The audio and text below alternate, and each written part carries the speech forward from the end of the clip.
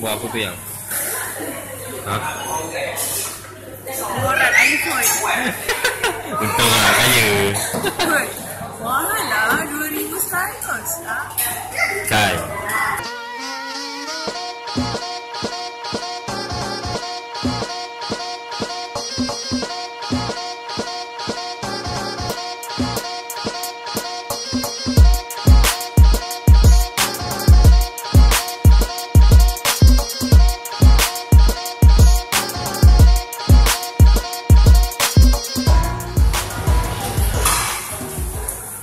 Assalamualaikum dan selamat malam YouTube. Kita dekat KFC Alam Cak Alam Jaya. Ah, Okey, sorry. Dekat Puncak Alam Jaya.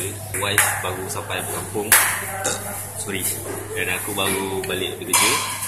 Orang tak ada masa nak masak. So, makan je nasi. Dinner plate. Spicy. Air, ice lemon tea. Dan ada cheesy wedges. Dan uh, ini orang Korean. Ah, apa? Share. Share. Share dua orang. Aku tak ada selera nak makan sebab tak rasa macam nak muntah. Mungkin sebab aku terlayan game FPS tu yang membuatkan aku daripada dekat YouTube tadi. Paling lah. Okay gang, uh, well then aku dah sampai rumah dan sekarang aku, aku studio aku ni tengah sepah. Aku rasa selama ni memang studio aku sepah pun tengah nak buat projek t-shirt. T-shirt baju custom baju ni macam ni. So uh, ini adalah saiz yang aku akan tekap dekat baju ni. Nampak nampak tak nampak aku tak tahu mungkin angle. Sebenarnya ni terlampau tinggi kot. So sekarang pukul 12 so aku rasa aku patut buat sekarang sebenarnya. Sebab aku dah ngantuk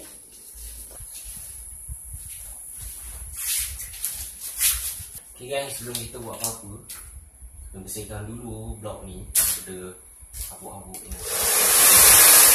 So, it might take a while Before the block might be clean off out of dust.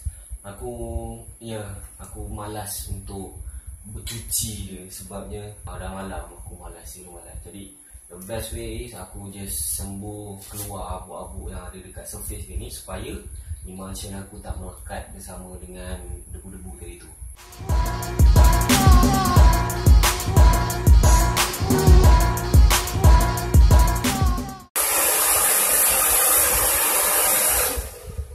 Bear in mind guys, aku cuma sembuh angin Aku tak letak haba pun kat sini. That's why uh, Function dia cuma untuk bersihkan daripada debu-debu je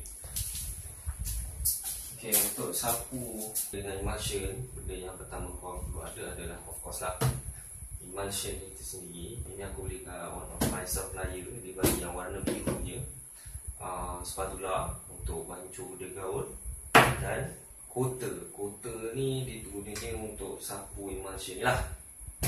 Aku takkan bibir detail lah Aku cuma akan buat time lapse Supaya korang faham How is the procedure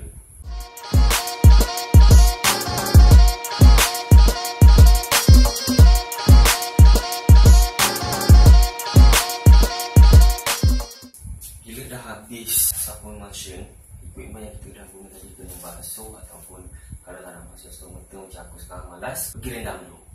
Sebab apa? Kita tak nak asset kita Which is benda-benda ni Dia akan berkarat dan tak tahan lama. Jadi kita nak kurangkan perbelanjaan untuk asset. Kita kena cuci lah barang-barang Supaya dia tahan lebih lama Dan aku boleh buat banyak duit dengan equipment yang sama setiap masa itu namanya investment. The next thing yang aku akan buat adalah Meminyakkan ini. But I need to close all the lampu dia Yang tutup lampu.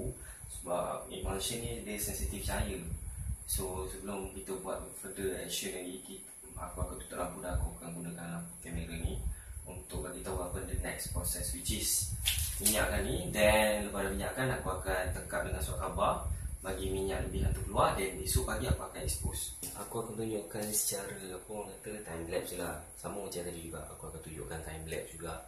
Sebabnya ini adalah proses yang mana aku akan ulang setiap kali prosedur untuk print t-shirt which is prosedur yang sama ulang-ulang aku rasa pun kalau korang nak tahu korang boleh tengok vlog yang lepas aku akan buat benda yang sama dengan penerangannya sekali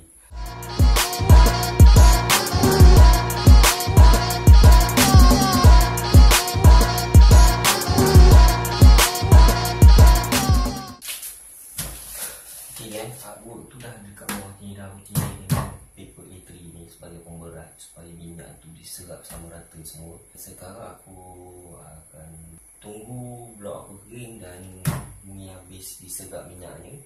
Esok pagi baru aku sambung balik semula. So in the meantime guys, uh, boleh lah kot aku buat penutup uh, ni untuk korang semua ni.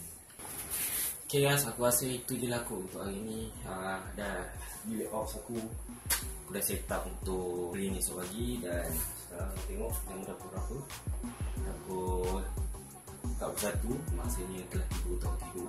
Itu saja kot untuk vlog kali ni. Aku akan sambung pada besok pagi Dan uh, baju pun dah siap. Aku tinggal lap sikit meja buang-buang habuk Dan if possible aku sapu sikit gambar tadi untuk kuatkan punya gum lekat supaya baju tu hasil printing dia cantik. Yeah guys, that's it. I see you guys on the next vlog. Bye.